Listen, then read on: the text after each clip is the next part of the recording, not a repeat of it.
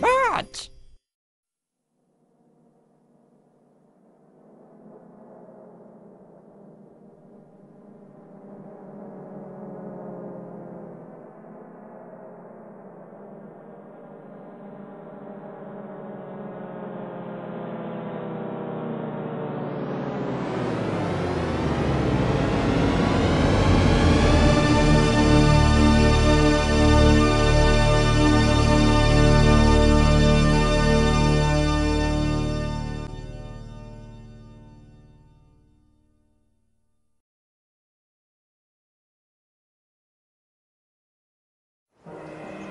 It was an ordinary day in Ponyville. So ordinary